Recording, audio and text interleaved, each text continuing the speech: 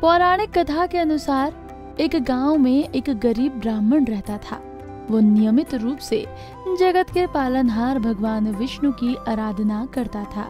उसकी पूजा भक्ति से प्रसन्न होकर उसे भगवान श्री विष्णु ने दर्शन दिए और ब्राह्मण से कोई वर मांगने के लिए कहा।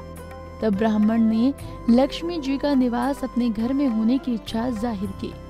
तब ये सुनकर भगवान विष्णु जी ने लक्ष्मी जी की प्राप्ति का मार्ग ब्राह्मण को बताया। श्री हरि ने बताया कि मंदिर के सामने एक स्त्री आती है, जो यहाँ आकर उपले थापती है। तुम उसे अपने घर आने का आमंत्रण देना। और वही स्त्री ही देवी लक्ष्मी है।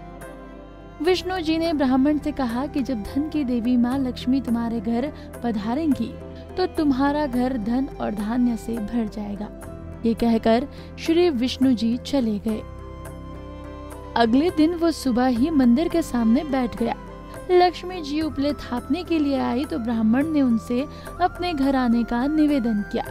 ब्राह्मण की बात सुनकर लक्ष्मी जी समझ गई कि ये सब विष्णु जी के कहने से हुआ है। लक्ष्मी जी ने ब्राह्मण से कहा कि मैं चलूँगी तुम्हारे घर, लेकिन उससे पहले तुम्हें महालक्ष्मी का व्रत करना होगा। सोलह दिनों तक व्रत करने और सोलवे दिन रात्रि को चंद्रमा को अर्थ देने से तुम्हारा मनोरथ पूरा होगा। ब्राह्मण ने देवी लक्ष्मी के कहे अनुसार व्रत और पूजन किया और देवी को उत्तर दिशा की ओर मुँह करके पुकारा। इसके बाद देवी लक्ष्मी ने अपना वचन पूर्ण किया। मान्यता है कि उसी दिन से इस व्रत की परंपरा शुरू हुई थी। और जो भक्त पूरी श्रद्धा के साथ ये व्रत करता है, उसे अपार धन की प्राप्ति होती है। महालक्ष्मी व्रत से जुड़ी एक और कथा प्रचलित है, जो इस प्रकार है। दूसरी पौराणिक कथा के अनुसार, महाभारत काल के दौरान एक बार महर्षि वेदव्यास जी ने हस्तिनापुर का भ्रमण किया। महाराजा धृतराष्ट्र ने उन्हें अपने ताजमहल में पधारने का आमंत्रण दिया।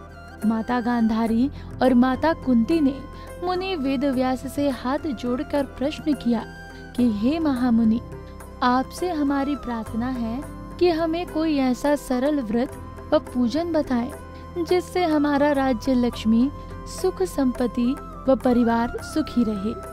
ये सुनकर वेद व्यास जी ने कहा कि, यदि आप अपने राज्य में सुख समृद्धि चाहते हैं तो प्रतिवर्ष अश्विनी कृष्ण अष्टमी को विधिवत श्री महालक्ष्मी का व्रत करें। तब रानी ने कहा कि हे महामुनि इस व्रत की विधि हमें विस्तार पूर्वक बताने की कृपा करें।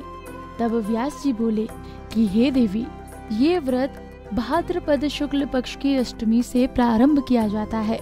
इस दिन स्नान करके सोलह धागों का सूत बनाएँ, उसमें सोलह गांठ लगाएँ और हल्दी से उसे पीला करें।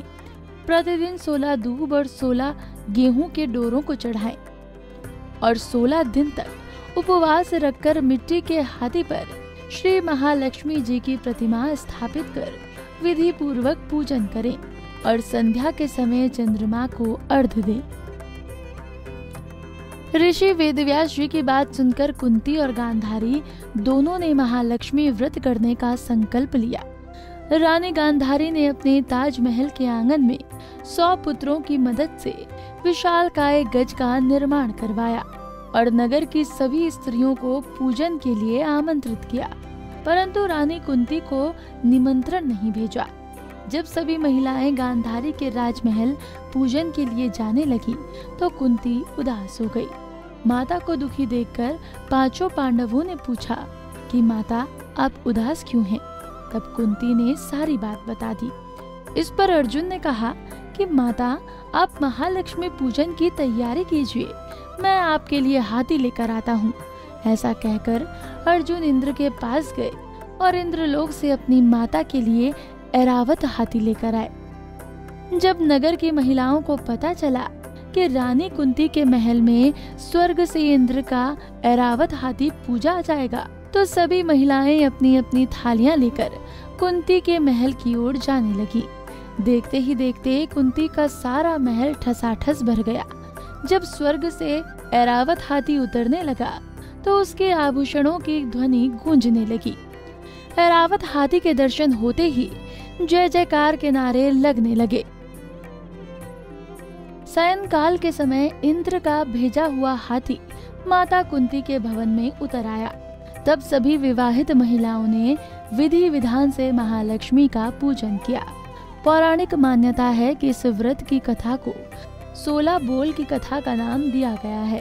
तो इस प्रकार जो भी इस व्रत को करता है, उसे धन का अभाव कभी नहीं रहता। कुंडली टीवी डेस्क से तानिया की रिपोर्ट।